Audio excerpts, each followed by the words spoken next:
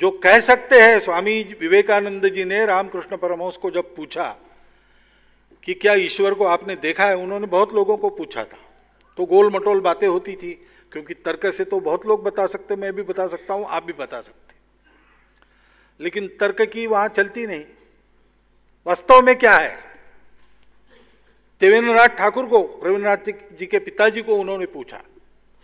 तब वो उत्तर नहीं दे सके, उन्होंने कहा कि तुम्हारे आँखों में बड़ा तेज है। उसने कहा, विवेकानंद जी ने कहा, वो मुझे नहीं चाहिए, मेरे प्रश्न का उत्तर दो, भगवान को आपने देखा है क्या? तो फिर उनके तरफ़ से कोई उत्तर नहीं आया।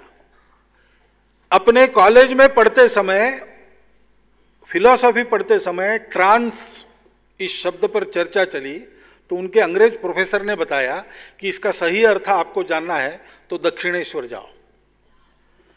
वहाँ रामकृष्ण परमहंस के पास वो पहुँचे। और एक दो बार मिलने के बाद उन्होंने प्रश्न पूछा कि क्या भगवान को आप देखते, देखा है भगवान को? तो रामकृष्ण परमहंस, जो मुश्किल से चौथी पास चौथी पास रहे होंगे, पागल जैसे लगते थे, उन्होंने कहा कि हाँ देखा है, नित्य देखता हूँ, तुमको जितना स्पष्ट देखता हूँ, उससे ज़्यादा स्पष्ट देखता हूँ, भगवान से बात भी करता हूँ, और अगर तुम मेरे बताए रास्ते पर चलोगे तो तुम भी ये कर सकोगे अब इस बात को इतने आत्मविश्वास के साथ बता सकने वाले लोग आज भी अपने देश में मिलते हैं। उस सत्य के आधार पर, अब वो सत्य क्या है इसका वर्णन, जैसा मैंने कल कहा अलग अलग है और परस्पर विरोधी भी है। परंतु वो एक सत्य है, वो अस्तित्व की एकता का सत्य है।